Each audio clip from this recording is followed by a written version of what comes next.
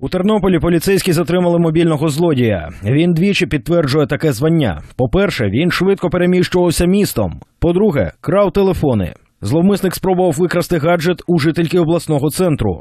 Втім, це йому до кінця не вдалося. Тепер про все послідовно. До поліцейських підбіг хлопчик. Жалівся, що у його мами викрали мобільний. Під час спілкування вияснили, що вона підозрює мужчину, який направлявся в готелю, що знаходиться на території ЖД вокзалу. Е, Як ми почали його наздоганяти, він нас е, замітив та заховався в даному готелі. Виявляється, що чоловік там проживав. Розшукали викрадача в одному із номерів. Він ховався у туалеті.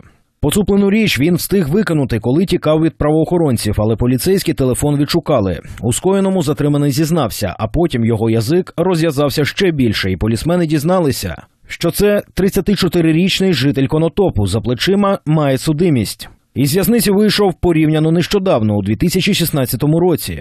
У Тернопільську область приїхав, аби продовжувати свою кримінальну діяльність. До цієї історії він вже встиг викрасти три гаджети. Зараз чоловік під вартою.